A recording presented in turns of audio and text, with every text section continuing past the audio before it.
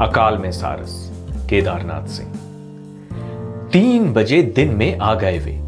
जब वे आए, किसी ने सोचा तक नहीं था कि ऐसे भी आ सकते हैं सारस।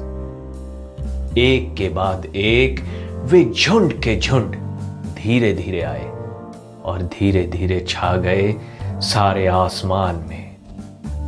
धीरे धीरे उनके क्रेंकार से भर गया सारा का सारा शहर। वो देर तक करते रहे शहर की परिक्रमा।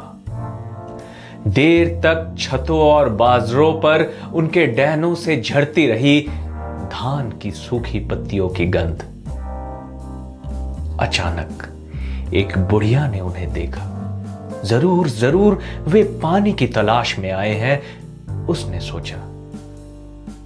वो रसोई में गई और आँगन के बीचों बीच लाकर रख दिया एक जल भरा कटोरा।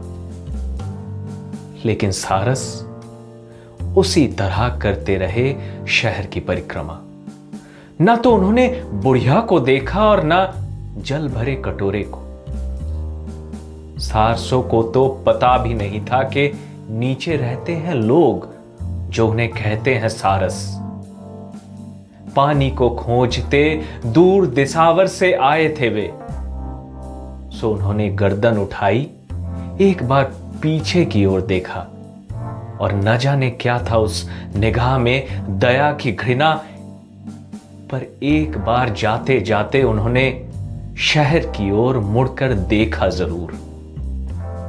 और फिर हवा में अपने डेने को पीटते हुए दूरियों में धीरे धीरे खो गए वो सारस।